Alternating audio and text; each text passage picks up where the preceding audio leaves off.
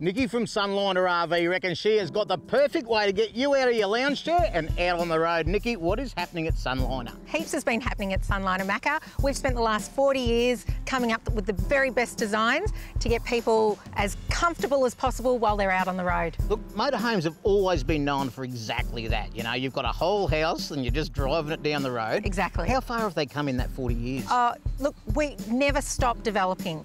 There's always a better way of doing things, and that's the great thing with Sunliner. They're always trying to keep on the front foot, finding a better, more effective way of doing things. so what have we got behind us today?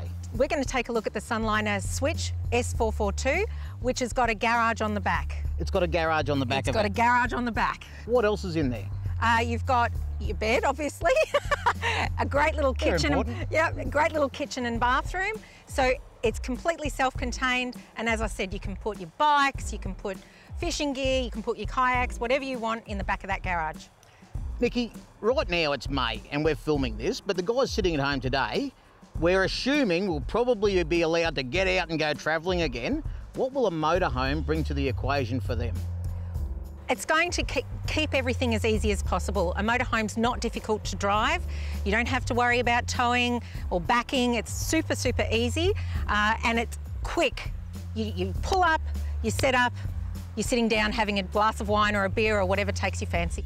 I bet you get asked this question all the time. I'm tossing up between a caravan and a motorhome.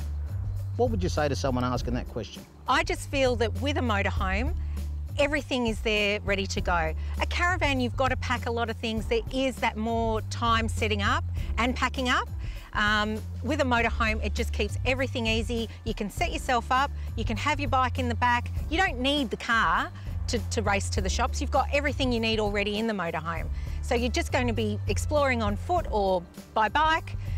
Keeps it super easy. Sounds pretty easy to me. Yep. Now, you guys are members of Caravan Industry Victoria. What does that mean to someone who buys a product from you?